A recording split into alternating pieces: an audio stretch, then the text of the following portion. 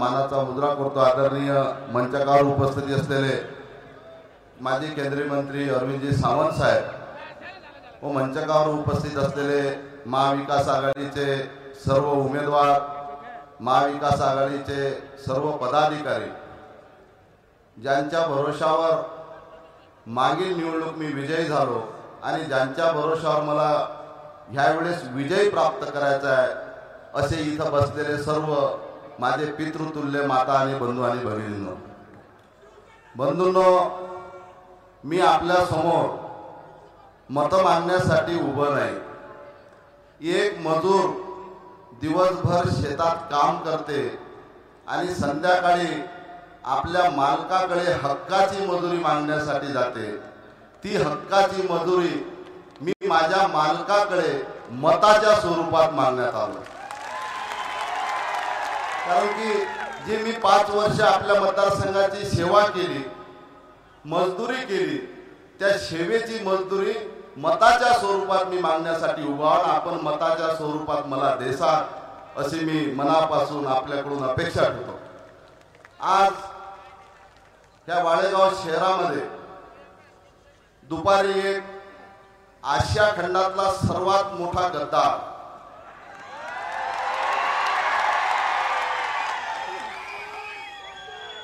त्या गद्दाराची सभा एका निष्ठावान आमदाराला पराभूत करण्यासाठी इथं झाली. आणि एका निष्ठावान आमदाराला विजय करण्यासाठी आज आपल्या पक्षप्रमुख उद्धव बाळासाहेब ठाकरेची सभा इथं होत आहे. दुपारच्या वेळेस एकनाथजी शिंदे साहेब म्हणाले की पाच वर्षापूर्वी आपण चुकीचा उमेदवार निवडून दिला. ह्यावेळेस चांगला उमेदवार निवडून द्या. तर मी साहेबांना म्हणतो की ह्या लोकांना मागील पाच वर्षात चुकीचा उमेदवार निवडून दिला असता तर आज इथे एवढे आले नसते परंतु साहेबांना चुकीचा माणूस मोठा केला म्हणून महाराष्ट्रात आशिया खंडाची गद्दारी झाली.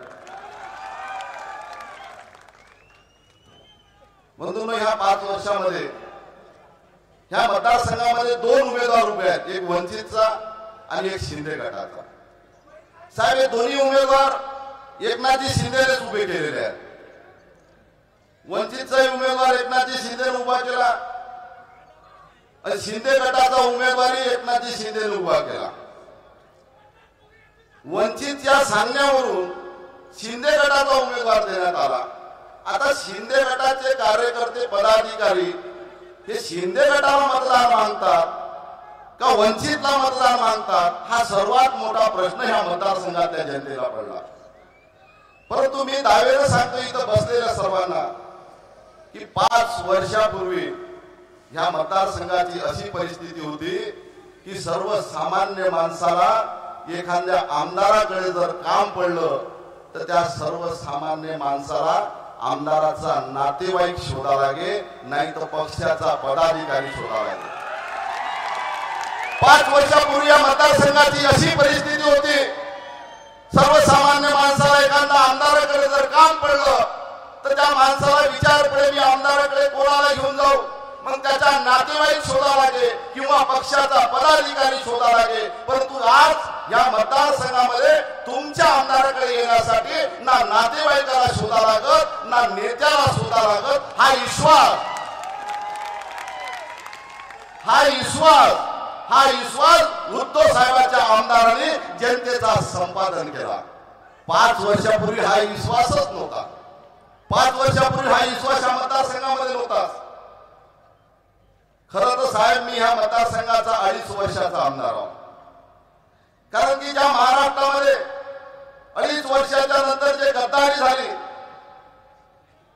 जे उद्धव साहेबाशी प्रामाणिक राहिले जे काँग्रेसशी प्रामाणिक राहिले जे राष्ट्रवादीचे प्रामाणिक राहिले या आमदारांना एकनाथ शिंदेनी एक रुपयाचा निधी या अडीच वर्षामध्ये दिला नाही.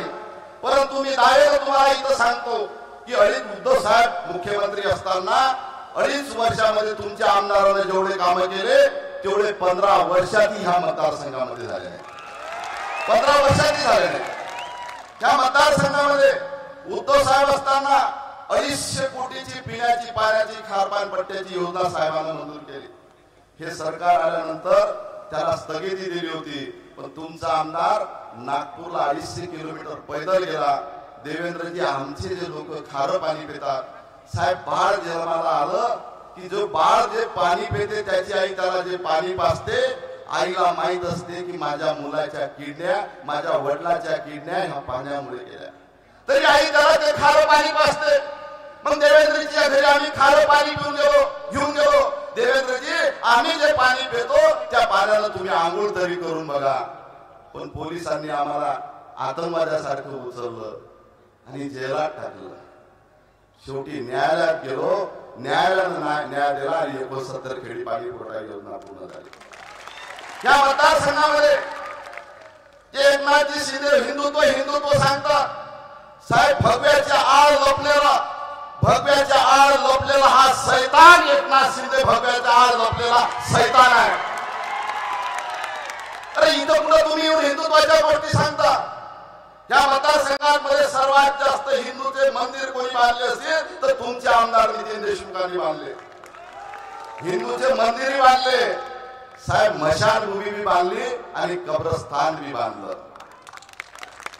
जेव्हा बाळ जन्माला येते त्याला माहीत नसते की मी मशानभूमी जाणार का कब्रस्थानमध्ये जाणार.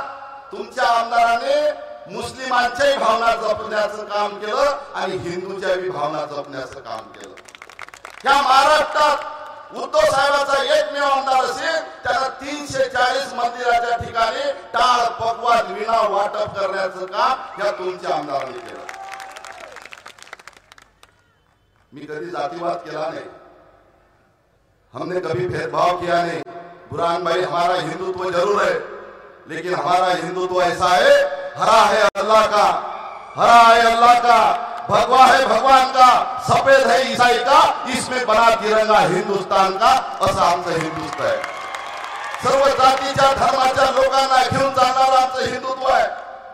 साहेब ह्या मतदारसंघामध्ये एकनाथजी शिंदेने उमेदवाराला दहा दहा हजार रुपये मत इकत घेण्यासाठी पाठवले. मैं तो सबको कहना चाहता हूँ ये दस हजार रुपए लेना छोड़ना नहीं। एकनाथ शिंदे ने कोई कपास बेच के पैसे नहीं भेजे। एक नाथ शिंदे ने कोई खेती बेच के पैसा नहीं है। ये अपना किसान का पैसा है वो जनते का पैसा है, लूटा हुआ पैसा है, वो अपने चुनाव में लगा रहा। पैसा ज़रूर लेना, लेकिन वोट उद्धव साहब के मशाल को दे देना। लेकिन हज़ार रुपए इन्होंने खतीब साहब ने हज़ार रुपए बांटे। क्या बड़े नंबर ने हज़ार रुपए बांटे? तो पूछना एक नाथ जी शिंदे ने दस हज़ार रुपए से भेजा है, नौ हज़ार का है। नौ भी लेना एक भी लेना अपने मशाल ईमानदार उद्धव साहेब के आमदार को वोट देना। भाई मी कधी जातीवाद केला आणि भेदभाव नाही केला मी या मतदारसंघात दिवस रात रस्त्यावर राहिलो पाच वर्ष रस्त्यावर राहिलो तुमचा आमदार कधी साहेब झाला नाही। निवडणुकीच्या मैदानामध्ये आम्ही तुमच्या घरी रात्री बेरात्री बारा वाजता येतो मतदान मागतो। काका दादा मावशी आम्हाला मतदान करा। निवडून गेल्यावर आम्ही साहेब होतो पण हा तुमचा आमदार कधी साहेब झाला नाही. आज भारतीय जनता पार्टीच्या आमदाराकडे जर कधी गेले तर घरचे म्हणतात साहेब झोपलेले आहेत. साहेब मुंबईहून आले. परंतु माझ्या घरी जर कोणी आलं तर माझ्या पत्नीने मी म्हटलं असेल उठा लवकर कोठारीचा माझा आदिवासी देवलाल घोडा आला उठा. उठून जशा अवस्थेत मी जर बनेलो असतो तशा अवस्थेत असतो तसा माझ्या मतदारासमोर आलो. कारण की या मतदार राजानं मला मोठं केलं. एकनाथजी शिंदे तुम्ही काय इथे येऊन सांगता? शिंदे साहेबांनी सांगितलं होतं की या चाळीस आमदारातला एक आमदार जर पडला तर मी शेतात काम करेन. साहेब त्याला शेतातच जावं लागेल कारण की विठ्ठलासारख्या माणसासंग विठ्ठलासारख्या माणसासंग एकनाथ शिंदेनी गद्दारी केली. आज दहा हजार रुपये मतानं जेव्हा पैसे वाटतो वीस वर्षाच्या अगोदर ऑटो चालवणारा माणूस याच्यातून कुठून पैसा आला एवढा? मी तुम्हाला एवढीच विनंती करतो. आपल्याला साहेबाचं भाषण आलं तुम्हाला कधी पश्चाताप होणार नाही. ते आपण चुकीच्या माणसाला मतदान केलं. ह्या मतदारसंघात तुमचं सुख म्हणजे माझं सुख. तुमचं दुःख म्हणजे माझं दुःख. तुमच्या दुःखा सुखात सामील होणारा हा तुमचा नितीन आमदार आहे.